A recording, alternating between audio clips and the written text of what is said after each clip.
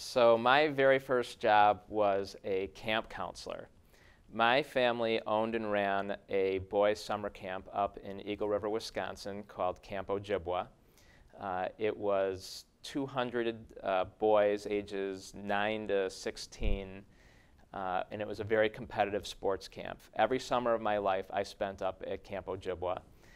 Um, and when I turned 17, you're able to become a junior counselor. So I was a junior counselor. I got paid $200 for the summer. Those summers were the greatest summers of my life when I was a counselor. I, and I did it for uh, all the way up through my first summer of law school. Uh, I became a, a, junior counselor, a senior counselor.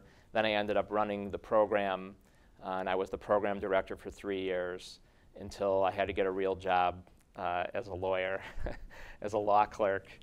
Uh, and that was the worst summer of my life because I was here in Chicago wearing a suit in 100 degree temperature and I was thinking about being up at camp in the lake.